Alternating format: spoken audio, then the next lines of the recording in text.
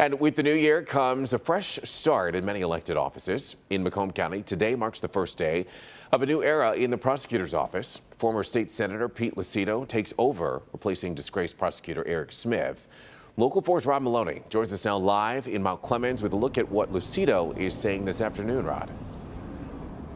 Well, you know what, Rod? I'm here standing in the spot that I was 18 months ago when Michigan State Police investigators were pulling computers, banking records out of Eric Smith's office here in the prosecutor's office.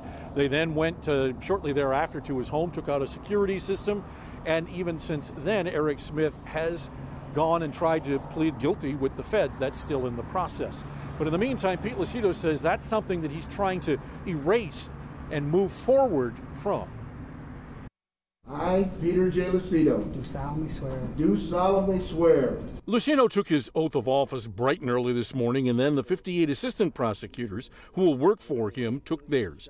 Lucido took considerable time to let the employees who've labored under a dark cloud know. It's a new year, it's a new dawn, it's a new day. It's a new beginning for the Macomb County Prosecutor's Office. Make no mistake about it.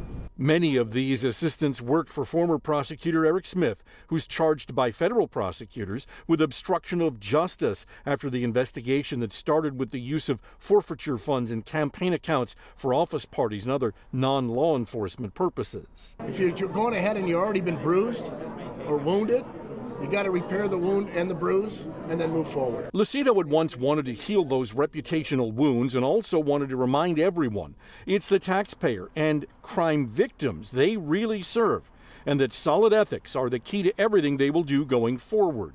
He asked everyone in the office to think back on the ideals they felt when they first took an oath to be an attorney. We represent all people of every walk of life, of every nature and we want to ensure that they are served in the highest regards of trust. That's all I'm asking. Do your best.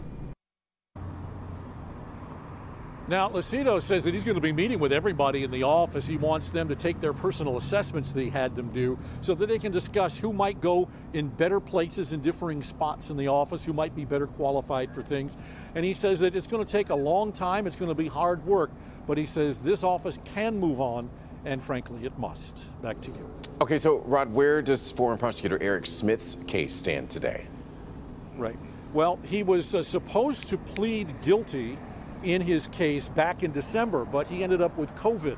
So they've delayed his case now, and he'll be back before a judge, we're told, on January 27th. All right, we know you'll stay on top of it, Rod. Thank you.